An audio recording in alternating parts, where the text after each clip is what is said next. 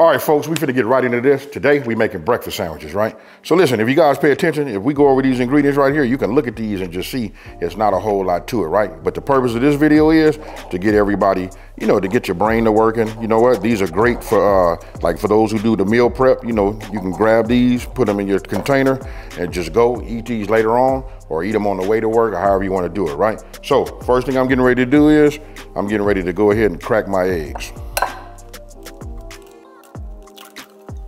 Okay, so don't forget the full ingredient list with the printable recipe is on my website, and that's smoking and grilling with ab.com, and that's w-i-t-a-b.com. Okay, so once you get your eggs in here, this is how we're gonna do it. I'm gonna add the milk. This helps it to get a little bit more on the fluffy side. And then I'm gonna show you guys a little trick. Watch this. You come over here, I give it just a splash of water. That's it. No, maybe a little bit more. That's it. All of this right here helps to, you know, for those of you guys that don't have like a non-cooking, uh, uh, a non-stick cooking pan, that right there helps. You know what I mean? So this is gonna make them fluffy. You know what I mean? And when I make my eggs, I want you guys to pay attention. I don't make my eggs super hard like most people scramble them. You'll see, I like mine to be a little bit on the soft side. Now, I'm gonna go ahead and give this a pinch of salt.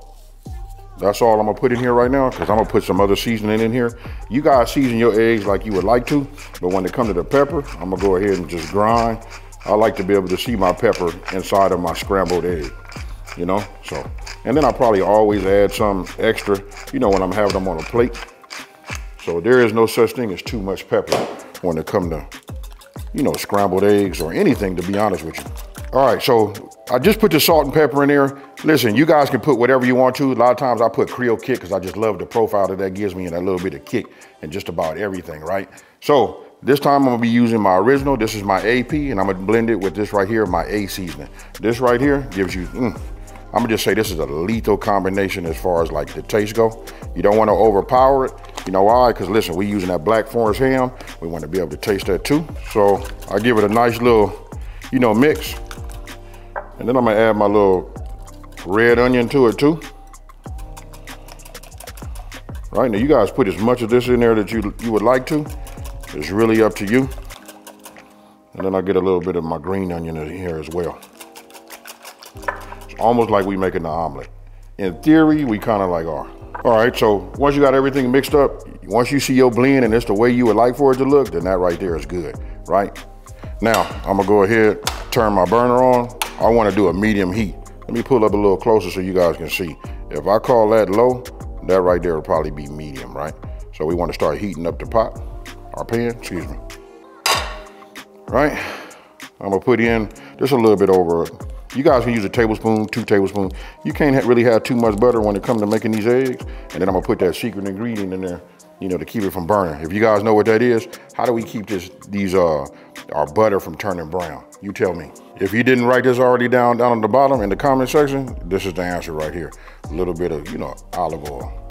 Not just olive oil, it's uh, any cooking oil, right? But you know, that's my tool of choice. So now that we have this, oh yeah, there we go. Make sure everything is coated on here, even though this is a non-stick pan, and it's non-stick by design, folks, right? But this right here is gonna help. And what we wanna do is, we wanna just add this in, right?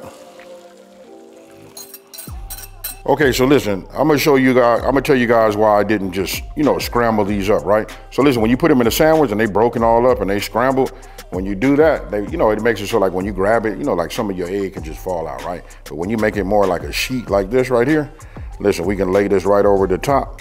I mean, some of it will be broken, but it'll keep, you know, reduce the chance of all of it, you know, just falling out of the side. Okay, so when it looks like this and you've done it properly, look at this. See how that moves? That's perfect, right?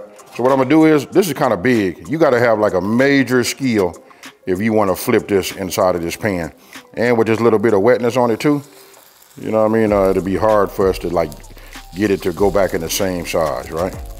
So now I'm gonna take a spatula and just flip it.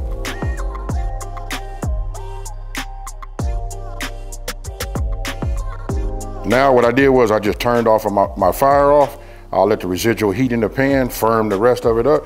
And this is as far as I go. This is the way I like my eggs. Now you guys do them whichever way you want to. You don't have to make them as big. You could have made them in, in sections, you know what I mean? So that they, you know, didn't lay them on top of the bread. But this right here is what I like, right? So as you see, it's off, right? And that will cook that. Now, we're gonna go ahead and prep our bread, right? So listen, I'm gonna be using the King's Hawaiian. Now I'm getting ready to spray a little non-stick cooking spray, you know, down here on the bottom. You know what I mean? It, just lightly, that's all you need. And then what you want to do is you want to get yourself like a bread knife, a serrating, a serrating knife, right?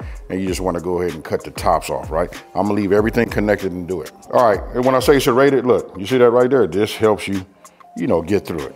You know what I mean? So now I'm just gonna take it, I'm gonna look at it, because what I wanna do is split it. You know what I mean? So when you buying it, make sure you look at your bread, make sure it's not smashed. It'll make a difference, right? So you let the knife do the work, folks. Then when we separate it, now you take your bottom half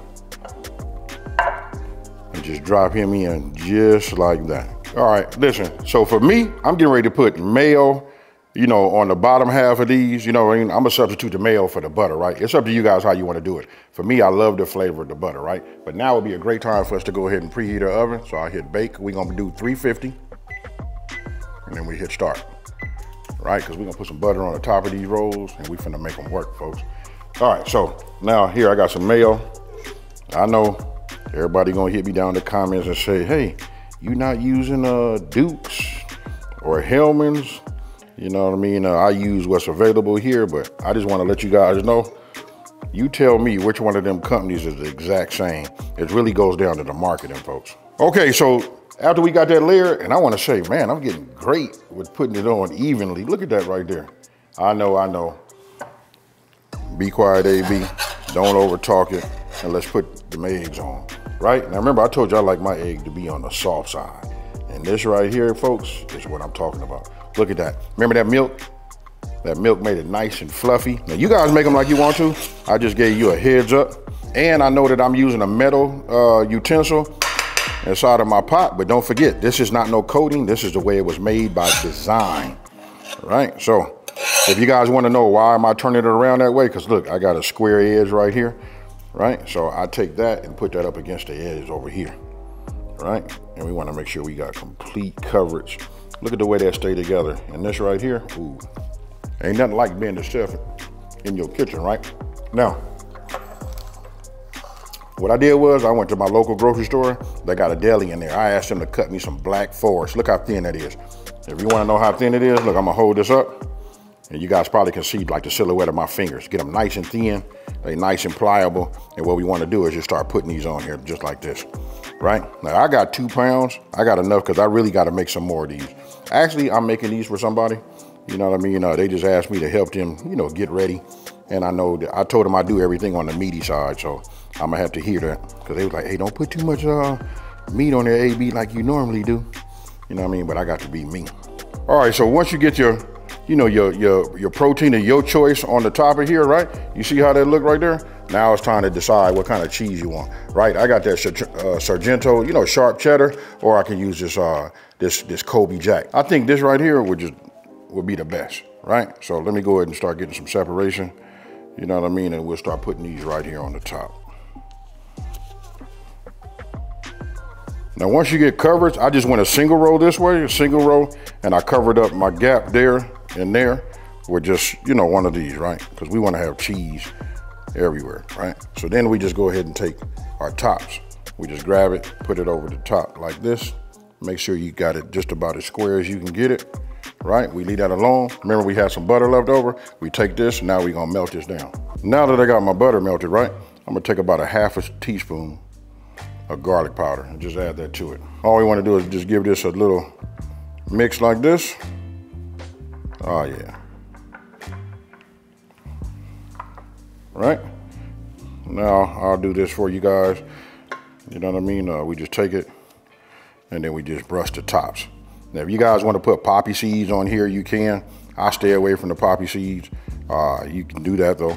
You can uh, put sesame seeds in here. You know what I mean? If I was gonna do them, I'd probably brown them a little bit, so roast them, you know? But this right here help brown the tops. You know, coat it and give it that added flavor, right? So you guys got it. You know what we're doing. Then I put a little bit of that butter in them joints too, like this right there. Look at that, and let it just run down. I'm already at 350. We're gonna put these in for about 15 minutes, but we're gonna pay attention to it. We wanna look at our cheese, make sure that's melting right, and then we wanna make sure we're not getting too brown on the top, right? So we wanna hurry so we don't lose all our heat. Okay, folks, while I have that in there, it only got about five more minutes to go, right? I gotta make another one of these for myself, right? So the first one is really for somebody. They actually asked me to make that for them, so I didn't put all of my ingredients in per their request, right? But this is the way it goes, right? We got our melted butter. Now we wanna take a teaspoon. I measure this right here because this is crucial, right? So we put that in there like that.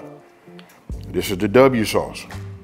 Now I'm gonna add a little bit of this Dijon slash Cajun mustard, right? That's really like a teaspoon that we're gonna put in there also. And then we put just a little bit of onion powder in here. You know what I mean? This will be about a half a teaspoon. So I can look at it and tell you, we just about, that's a half, about a half a teaspoon.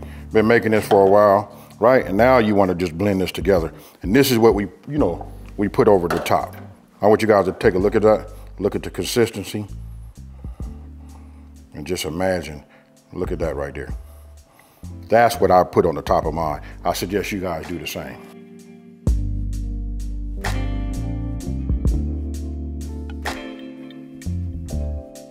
Okay, folks, so listen, I do have permission to go ahead and take one of these out of here. You know what I mean? Let's see if we can't get one of these out, you know, like right here. Let's see if we can get that out of there. And you see that right there?